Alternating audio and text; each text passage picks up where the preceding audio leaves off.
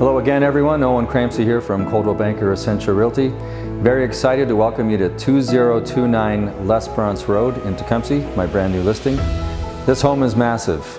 You've got about 3,000 square feet completed here, five bedrooms, three full baths, and it's a six-year-old home that was custom built by the current owners.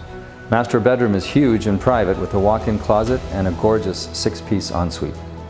In the lower level, you've got two large bedrooms, but you've also got the third bathroom, which looks brand new like it's never been used. You've also got a great entrance out to the backyard. And you've got the family room with a fireplace and a beautiful wet bar downstairs as well. You and your family are going to love this huge backyard right in the middle of Tecumseh. Very, very hard to find.